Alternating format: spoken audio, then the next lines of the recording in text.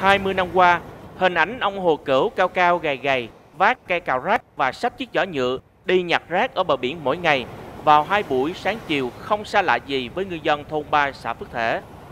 Bước sang tuổi 74, cái độ tuổi cần nghỉ ngơi, nhưng ông Hồ Cửu không hề ngại cái nắng, cái gió của vùng biển nơi đây để tìm niềm hạnh phúc từ công việc thiện nguyện này. Làm đây là cũng như sợ nó xuống ở dưới biển này. Rồi ờ, nó ảnh hưởng đến cái môi trường biển á, thành thử ra gom ở đây. gom đây rồi ờ, lên nữa đốt. Có số người họ cũng ờ, nói thế làm cũng không hết đâu. Nhưng mà nó ngay họ cũng nói là cái sự việc này nhỏ nè, nhỏ nhưng mà ít người làm được. Ờ, họ cũng nói vậy vừa họ cũng có đi mua làm mà thấy họ mua chai nước ngọt hay là một ly nước mía đó bị mía họ tới cho uống à, thấy cái môi trường nó dơ quá thôi bây giờ người ta không làm thì bây giờ mình đứng ra mình làm để vì mình có một ý thức về vấn đề cộng đồng xã hội đó nó có vấn đề đó thành nữa là hơn nữa là cũng bảo vệ được cái môi trường à, sau nữa là nó cũng bớt đi những cái tật bệnh những do những cái chỗ dơ quế của bữa thế đến mà nó, nó gây ra Trong tâm nguyện của ông Cửu, nghề biển đã gắn bó với ông, nuôi sống gia đình ông. Ông muốn được chung sức, góp tay làm sạch bờ biển. Ông Hồ Cửu không đơn độc trong hành trình tự nguyện làm sạch bờ biển trong chục năm qua, mà những người dân tại đây đã nhận thấy lợi ích của môi trường sạch sẽ nên cũng đã tự nguyện làm theo. cái rác đến nó đổ ra rồi nó nó không có cái cái cái trật tự. Nó cứ đổ ra. Thành thử bắt nguồn đó tôi thấy nó quá nhiều rồi. Thành tôi chính tôi bản thân tôi tôi thấy vậy. Thành thử tôi mới cào tôi đốt. Tôi cào tôi đốt. Rồi có một cái số người họ cũng tiếp tục làm giống như cũng như giúp đỡ. Giúp đỡ cũng như trợ duyên cho tôi làm trong đó. Chứ không làm thì đến nỗi mà ra mà đi ra mà ngồi mát một chút mà nó hôi chịu không nổi.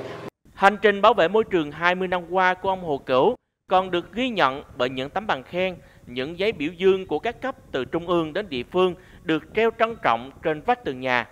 Đó còn là động lực để ông duy trì công việc mà với nhiều người là vác tù và hàng tổng.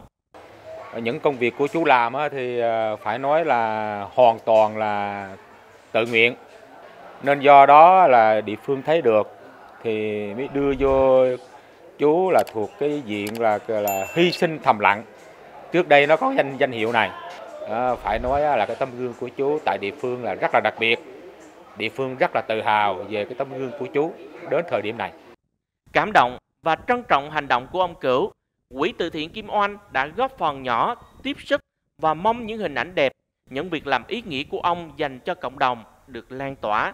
cỡ mà tuổi như chú vậy thì quá là tuyệt vời Dạ, đúng Đây rồi, là đúng rồi. người mà cái trình độ chưa nói nhưng mà cái ý thức của con ý thức người đúng rồi ý thức. về cái mặt mà vệ sinh môi trường Ừ. để đem lại là cho cái cái mà gọi là là, là xanh sạch đẹp cho Ừ. quê hương.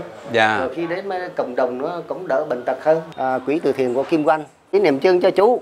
Dạ, à, chúc chú à, luôn giữ được cái thành tích và từng làm từ trước nay với cái sự nỗ lực và cái sự mà à, à, hiểu biết của chú đem lại về vệ sinh môi trường của à, địa phương à, thật ngày càng tốt đẹp hơn chú ha.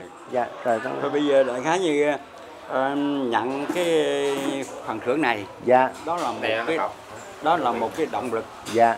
Hay hoặc là một cái cái thành tích mà nhà nước đã ghi nhận Dạ. đã quan tâm đến. Dạ. thì ờ, tôi sẽ cố gắng ờ, làm thêm nhiều hơn nữa Dạ. để khỏi ờ, phụ lòng cái sự mong mỏi của trên ở của của nhà nước mới ờ, đồng bào Tuổi đã cao, nhưng ông Cửu chưa hề có ý định dừng lại việc nhặt rác, bảo vệ môi trường này.